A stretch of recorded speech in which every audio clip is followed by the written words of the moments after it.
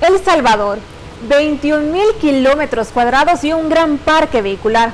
Hablamos de 1.560.000 vehículos.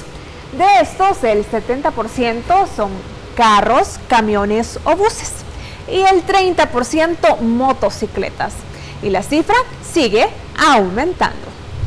Si nosotros viéramos el nivel de crecimiento que está teniendo el parque vehicular eh, año con año, podríamos decir que crece a un ritmo de un 8% todo el parque vehicular. Pero si nos detenemos a ver el crecimiento únicamente de las motocicletas, que es el tipo de vehículo que más está creciendo, eh, el crecimiento nos da un 17% anual. Con semejante cantidad de vehículos se vuelve casi que imposible transitar en las principales ciudades del Salvador en las llamadas horas pico.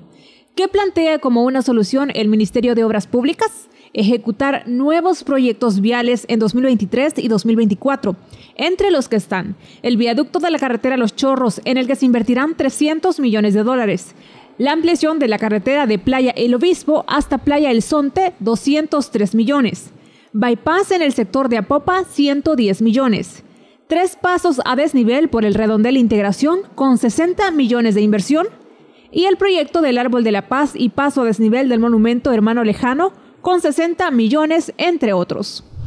Entre todos los proyectos que se quieren ejecutar, son más de 1.600 millones de dólares de inversión pública para El Salvador.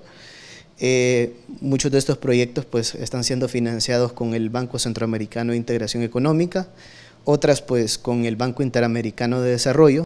Estos proyectos son pensados para la agilización del tráfico vehicular, pero ¿cuáles son los beneficios para los peatones? Si nosotros eh, atacamos y, decimos nosotros, no, miren, como la prioridad es el peatón, hagamos todo para el peatón y, el vehículo lo dejemos.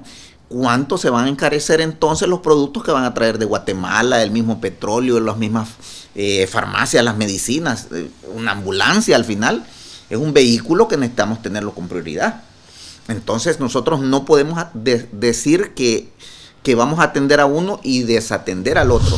Con estos proyectos se busca descongestionar el tráfico en diversas zonas y algunos están en proceso de licitación, en el cual se han inscrito más de 30 empresas, mencionó el ministro de Obras Públicas. En este momento tenemos en licitación ya el proyecto de la carretera de los Chorros.